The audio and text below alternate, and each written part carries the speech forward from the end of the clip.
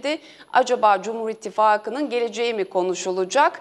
Ee, bir yandan da Meral Akşener'in geçtiğimiz haftalarda yaptığı görüşme sonrası acaba bir sağ ihtiyacı mı var? Bu ihtiyaç doğrultusunda mı gerçekleşecek bu görüşme? Sizler neler söylersiniz?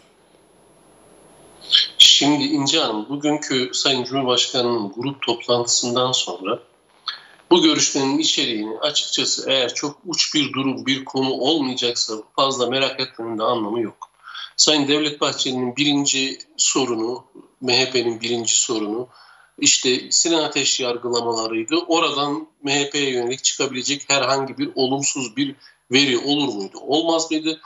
Bu e, merak konusuydu. Sayın Cumhurbaşkanı bugünkü grup konuşmasında yaptığı toplantıda MHP ile omuz omuzayız. MHP'ye yönelik saldırılar sadece MHP'ye değil Cumhur İttifakı'na ve Türkiye'ye yönelik saldırdığı dedi ve Sinan Ateş davasından kaynaklı MHP'li bazı isimlere veya MHP'nin kurumsal kimliğine, ülke ocaklarının kurumsal kimliğine yönelebilecek her türlü saldırıya karşı Sayın Bahçeli gibi bir tutum takınacağını ve onun gibi bir tepki vereceğini açıkça tüm herkese ilan etti.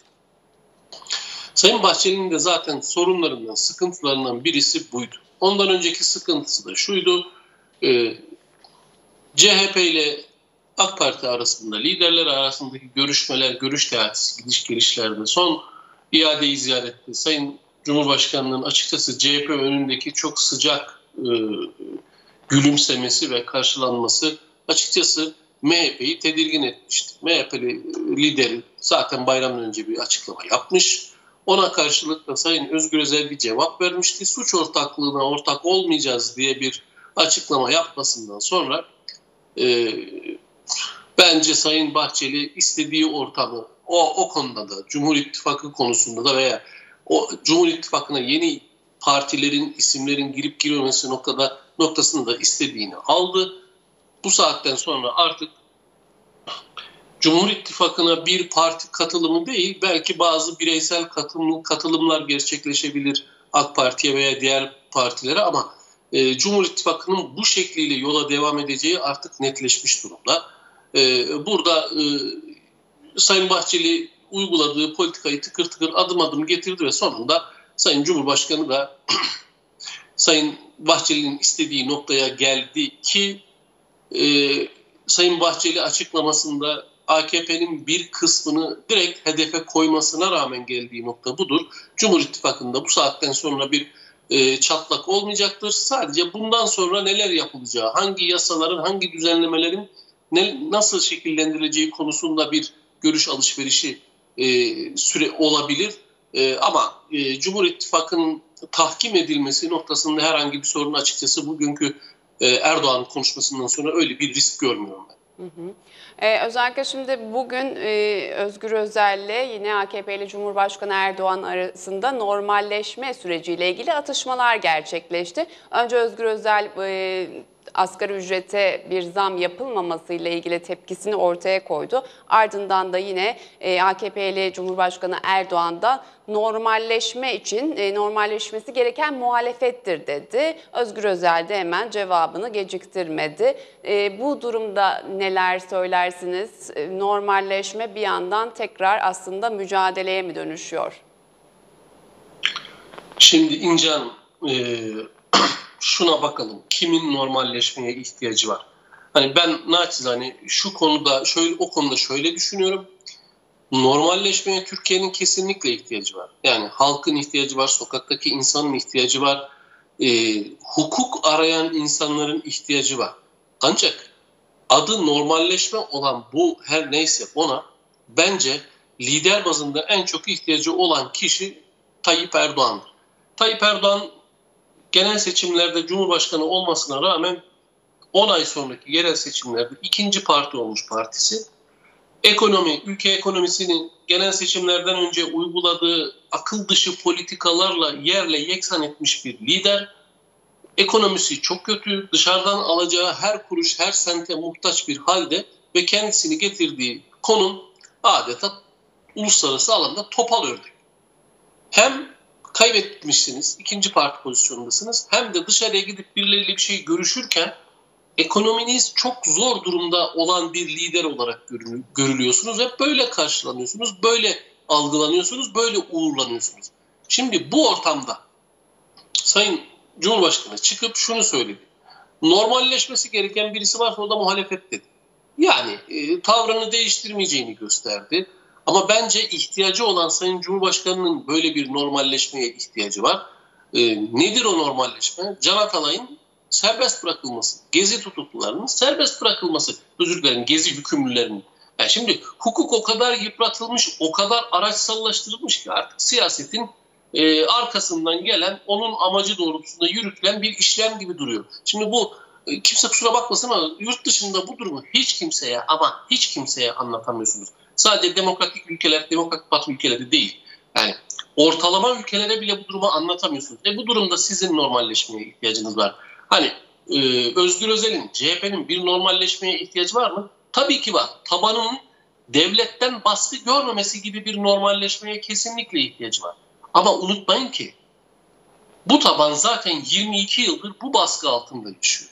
Onun için kısa sürede nefes aldıracak bir normalleşmeye Cumhurbaşkanı'nın ihtiyacı vardı. Ancak o normalleşmeyi Devlet Bahçeli bir şekilde kendisine başka bir politik gerekçeyle e, uygun görmedi ve CHP ile AK Parti arasında olabilecek ki ben pek fazla ileri götürüleceğini de zaten sanmıyorum her şeye rağmen götürülemezdi. Ee, izin vermedi Sayın Bahçeli. O oradaki o en azından diyaloğu da belli bir noktada sertleştirmiş görünüyor. Sayın Bahçeli'nin o açıklamalarından sonra Sayın Cumhurbaşkanı bu tercihini yaptı. Normalleşme kesinlikle Türkiye'nin ihtiyacı var. Kesinlikle Cumhuriyet Halk Partisi ve Cumhuriyet Halk Partisi şemsiyesi altında toplanan bütün muhaliflerin buna ihtiyacı var. Ama Sayın Cumhurbaşkanı halen karşı tarafta mağdur edilmiş iktidar değil, muhalefet tabanında yer alan insanların 22 yıl boyunca mağdur edildiğini herkes kabul eder. Muhalefette olmak güç ister aslında. Ve onlar mağdur edilmiş. Yani onlar için bir normalleştirme kimden beklenir? İktidardan beklenir. Hukuk yoluyla beklenir, ekonomi yoluyla beklenir. Ne bileyim bir takım insan hakları boyutuyla, ifade özgürlüğü boyutuyla beklenir ama Sayın Cumhurbaşkanı halen tersinden bakıyormuş. Gene tersinden bakmaya başlayacağını veya devam edeceğini ilan etti. E, normalleşme, diyalog hani bu saatten sonra bir anlama olur mu ben pek sanmıyorum. Evet. Yani artık e, normalleşme lafta kalır diyebiliriz sanırım. Şimdi ben beklentim en azından öyle. Hı hı. Şimdi özellikle yine düne dönecek olursak e, MHP Genel Başkanı Devlet Bahçeli'nin rahatsızlandığı anlar söz konusu oldu. Hem e, açık yapılan açıklamalarda da işte tansiyona bağlı sıcaktan bir fenalaşma olduğu söyleniyor ama bir takım kulislerde de farklı söylentiler var elbette sizin de kulağınıza gelmiştir. Şimdi bu sağlık problemiyle alakalı bir görüşme olabilir mi bugün?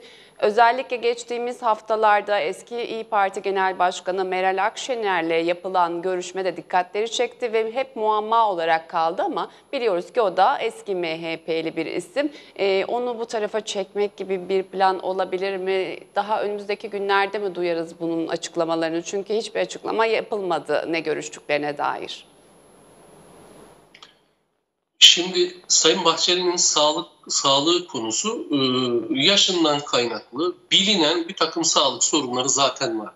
Yani Sayın Bahçeli için grup konuşur, konuşması sırasında veya grup konuşmasına giderken hastalandı demek açıkçası benim için fazla bir anlam ifade etmiyor. Yani e, biliyoruz ki her insan belli bir yaşa gelince evet. belli sağlık sorunlarının oluşması zaten normal. Kaldı ki Sayın Bahçeli e, işte grupta kürsüde e, grup başkan vekilinin oturduğu yerde oturarak konuşmasını yapmasının ardından kalktı, meclisin kulisine gitti, orada oturdu, sohbet etti. E, eğer bir rahatsızlığı vardıysa ki e, meclisin çok donanımlı bir hastanesi var, anında müdahale hemen yapılabilirdi. Ben özellikle muhabir arkadaşlarımıza sordum hani oraya bir doktor, sağlık ekibi yönlendirilmesi söz konusu oldu mu? Olmamış. Hani bunu Sayın Bahçeli'nin sağlık konusu üzerinden kritik bir pozisyona getirmek bence doğru değil. Ee, bir takım sağlık sorunları olabilir. Bildiğimiz sağlık sorunları bunlar. Ama orada kritik bir aşamaya geldi mi sanmıyorum. Bugünkü görüşmesinde de e, görüşmeye gitmesi de aslında Sayın Bahçeli'nin sağlığının ne kadar olabilecekse o kadar stabil olduğunu görüyoruz. Yoksa böyle bir görüşmeyi yarına ertelersiniz, başka bir güne ertelersiniz. Böyle bir sorun Yani bugün gerçekleşmez ikili- yoksa. Hı hı. yani öyle bir sorun olduğunu sanmıyorum ben. E, Meral Akşener boyutuna gelince e, genel seçimlerden sonra Sayın e, Kılıçdaroğlu'nun kurduğu bir siyasi yapı dağıldı. Karşısında Cumhur İttifakı dağılmadı ve aynı şekliyle duruyor. Açıkçası siyasi partiye üye olmakla birlikte artık siyaseten tasfiye olmuş bir Meral Akşener var. Ancak partisinde bir etkisi var. Partisinde onun e, öngörüsüyle, onun yönlendirmesiyle hareket edecek bir milletvekili grubu var. Şimdi bu milletvekilinin bu milletvekili grubu açıkçası İyi Parti'de mi kalacak? İyi Parti'de hangi politikalar yürütecek? Dört yıl boyunca neye dayanarak siyaset yapacak? Açıkçası burada bir belirsizlik var ve İyi Parti'de zaman zaman istifalar gündeme geliyor. Evet. Bir tanesini E siz- de yarın bekliyoruz şimdi Koray Aydın cephesinden. Bunu nasıl öngörüyorsunuz buraya Evet, yine yani Koray? Aydın'ın istifa edeceği artık her, veya edeceği iddiası herkes tarafından söyleniyor. Hı. Bağımsız kalacağı söyleniyor. Şimdi böyle bir parti var. Bu parti illaki birileri e, bir de sokakta ka- karşılığı pek kalmış bir parti değil. Hani biz önümüzdeki dönemde bu siyasi e, partinin e, içinden gidenleri, kalanları, hatta ikinci tur bindirip başka partilere gidenleri, bağımsız kalanları ve diğer siyasi partilerle ilişkilerini maalesef çok konuşacağız. Şimdi Sayın Akşener eski genel başkan olmasına rağmen e, destek vererek seçtirdiği yeni genel başkanı bir anlamda bilgi vermeden istiskal ederek kalkıp saraya gidip görüşme gerçekleştirdi.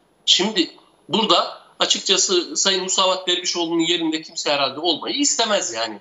E, genel başkana, eski genel başkanın bilgi verip sonra gidip görüşmesi daha mantıklı olurdu.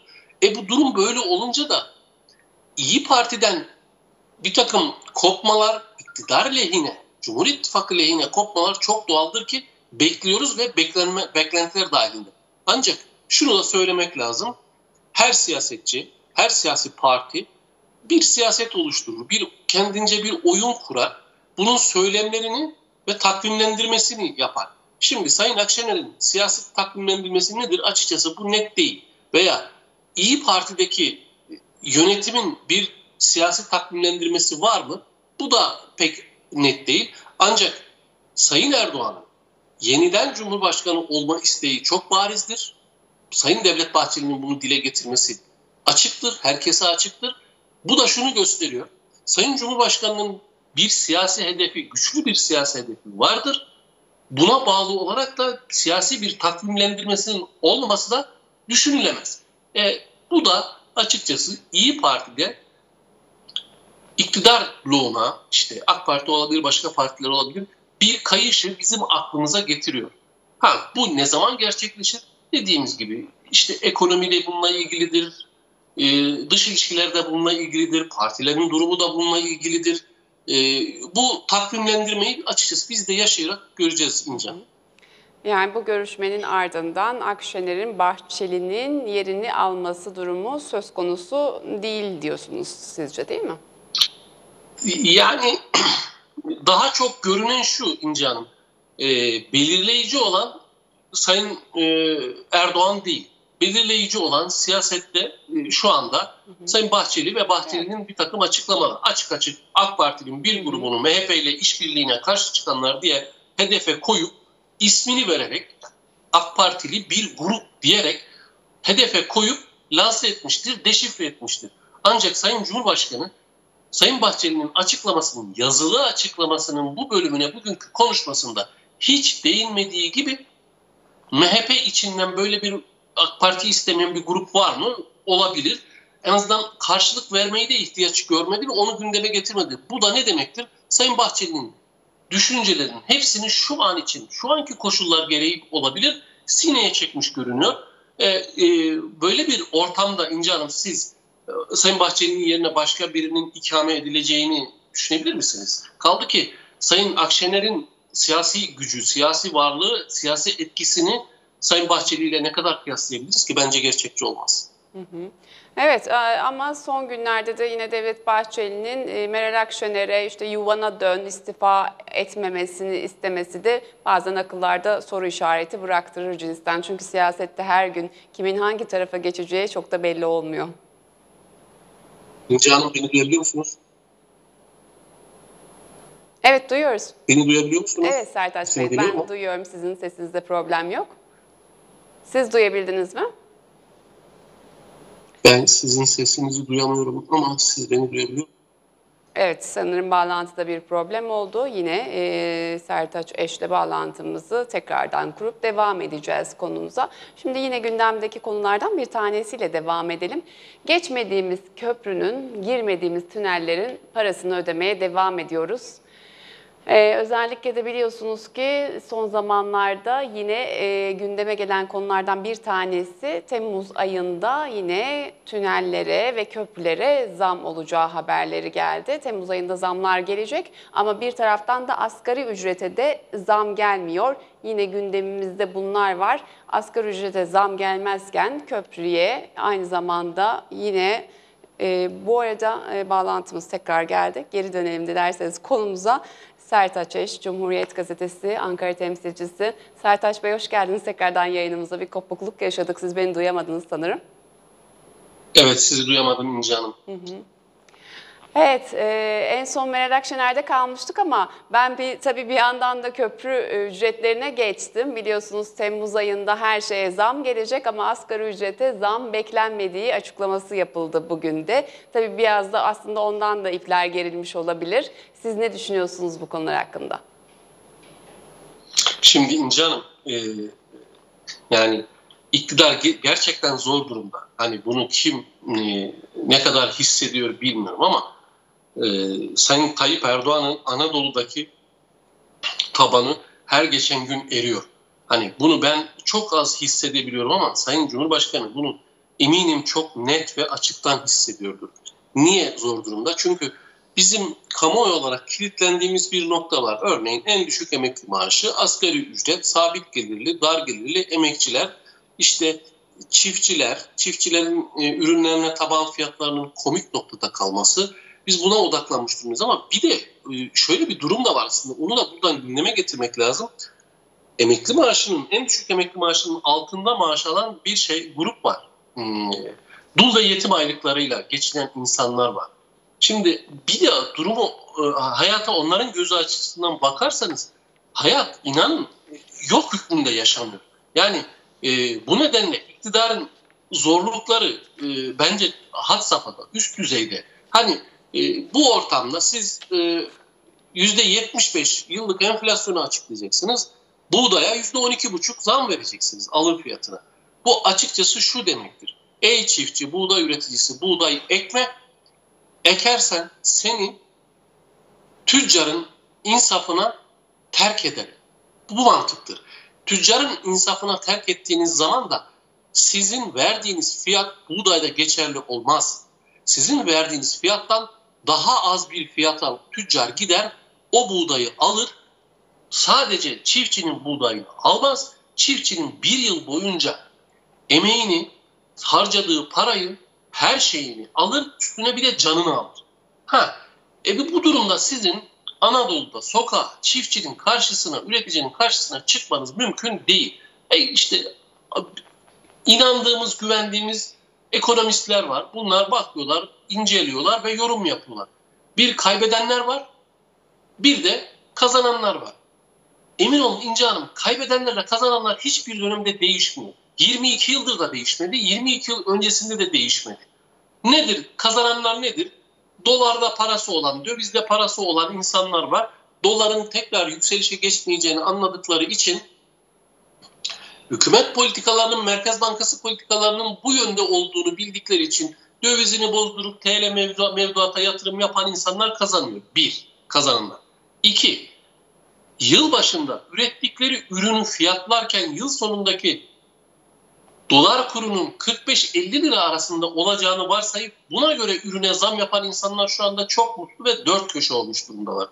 Ama sabit ücretle çalışan, asgari ücretle çalışan, en düşük emekli maaşı alan, emekli maaşının altında dul yetim aylığıyla nefes almaya çalışan, ürettiği ürünü satarak hayatını yaşamaya çalışan, hayatını oluşturmaya çalışan tarım üreticileri, diğer üreticiler bunlar kesinlikle kaybetmiş durumdalar.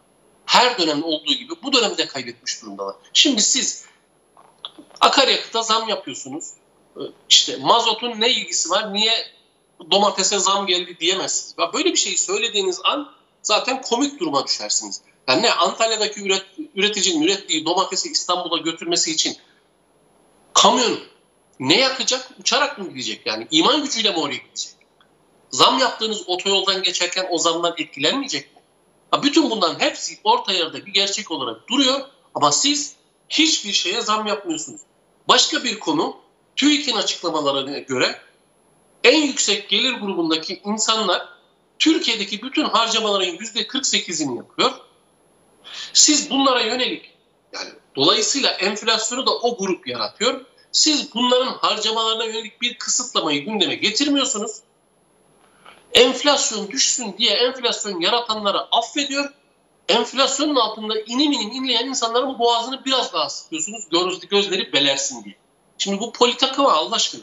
Bunun politika olmadığı, bunun çok can yaktığı, bunu AKP'nin karşıtlarını hatta AKP'den kalıcı kopmaları meydana getirdiğini ben çok az hissediyorum ama Sayın Cumhurbaşkanı bunu en yakından, en net ve en derinden hissettiğine eminim. Ha, güvenden, kendilerince güvendikleri bir nokta var. Bu acı ilacı içireceğiz. Sonra acı ilaçtan sonra bir parmak bal çalıp tekrar oylarını isteyebileceğiz diye düşünüyorlar. Bunu da zaman gösterecek. Evet.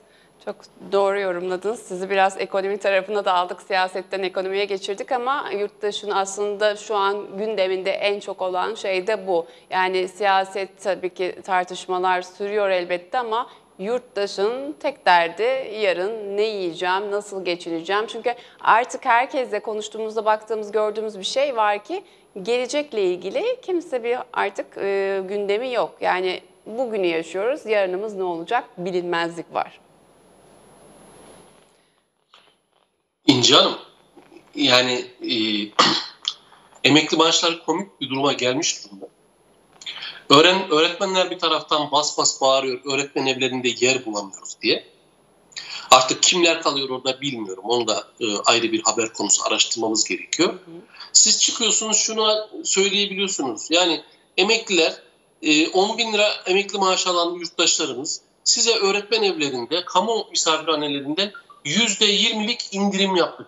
Evinden çıkamayan emekli öğretmen evine nasıl gidecek de %20 indirimden yararlanacak? Açıkçası bunlar hani herhalde bu döneme özgü örnekler olarak değerlendirmek lazım. Evet. Çok teşekkür ediyorum yayınımıza katıldığınız için, değerli yorumlarınız için.